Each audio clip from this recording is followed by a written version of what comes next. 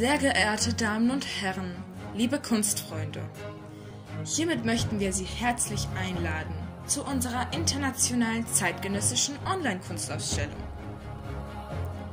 Sofortige Maßnahme zur Bekämpfung des Klimawandels und seiner Auswirkungen. Eines unserer Ziele ist es, Ihnen den Zugang zu moderner Kunst in Verbindung mit Umwelt zu ermöglichen. Die Online-Kunstausstellung findet vom 20. März bis zum 20. April statt.